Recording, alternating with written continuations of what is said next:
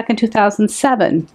And I can remember very clearly going upstairs. I had a beautiful home, beautiful family, wanted for nothing, but I had this sense of calling inside of me, deep inside of me, like something was missing. And I was, you know, I, I, looked outside myself and there was nothing missing. And I, I began to think, well, what's wrong with me? How can there be something missing? And yet the feeling was very, very deeply planted inside of me. And I, I sat and I just got quiet and I listened and I heard read. And I'm like, okay. And what I found was I, I, I, started reading, which I had never done much of, of my life, other than I, I read a lot more to my son. And I find myself going back to more spiritual, inspirational type books um, that I had left off many, many, many years ago in my days of college.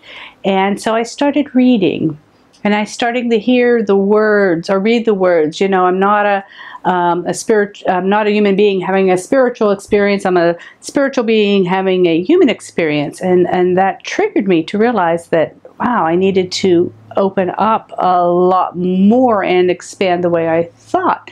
And so as I read and read and expanded the way I thought, then I knew it was time to connect with people because you can have a lot of knowledge and a lot of understanding, but if you aren't interacting with people on that level, then very little growth can go from there. It isn't about the mind. It isn't about bells and whistles and all the things we want to make this big word sound like. It's the connecting with the purity that's already there and it's just waiting. It's just waiting for us to tune in to hear it and feel it.